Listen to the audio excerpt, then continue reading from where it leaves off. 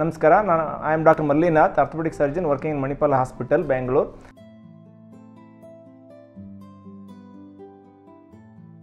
This surgery is usually done for the ligament injuries, cartilage damages,